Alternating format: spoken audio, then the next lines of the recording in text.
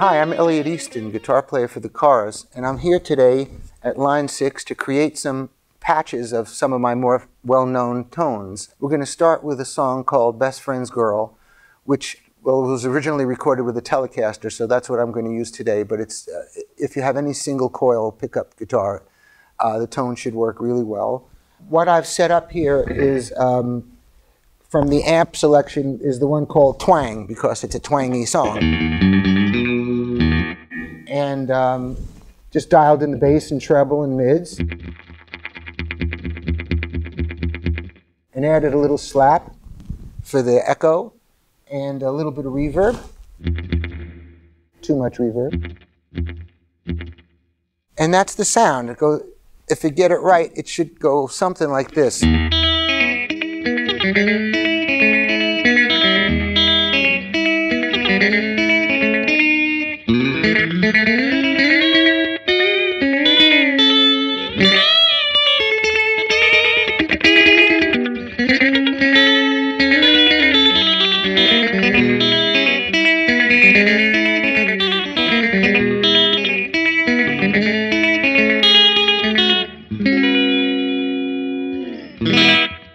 That's a good, uh, that's a good rockabilly sound for Best Friend's Girl. And we're going to do a second song um, called Just What I Needed.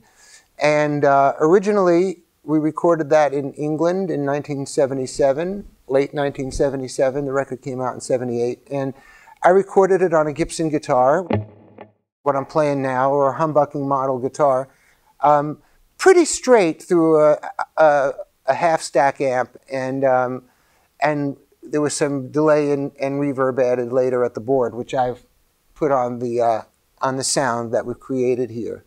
Um, for this one, we're using Crunch Green and um, some tape echo and some reverb as before.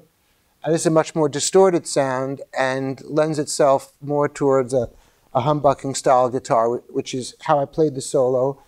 And uh, pretty sure I used both pickups, so I'll try to do that now. And um, I, I just hope I get it right. okay, here's, here's the solo for just what I needed.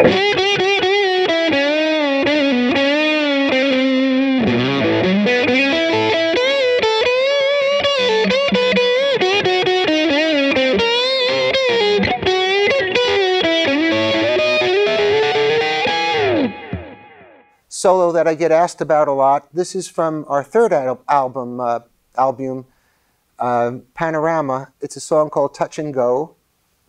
Uh, for the sound on this one, I went with high gain green and uh, a good amount of mid range. We're using um, some plate uh, reverb and some tape style echo and, uh, and liberal dosings of distortion. So we'll see if we can get close to the sound on the record. Here's the solo for Touch and Go.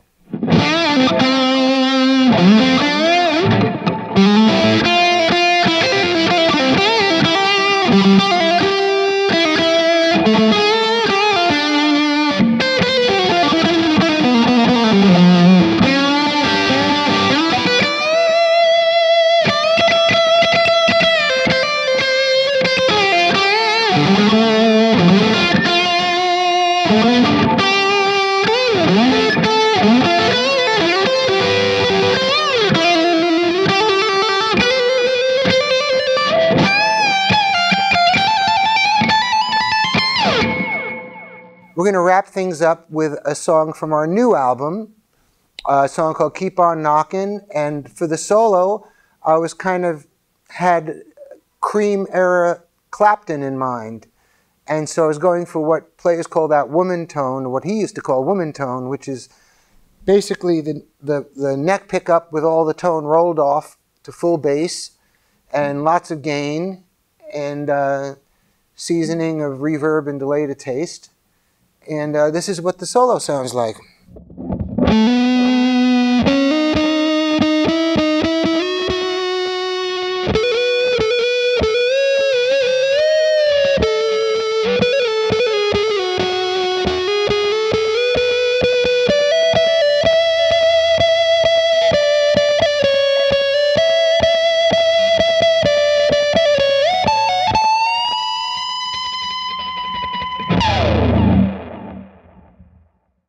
You to buy the album to see what, what I'm talking about.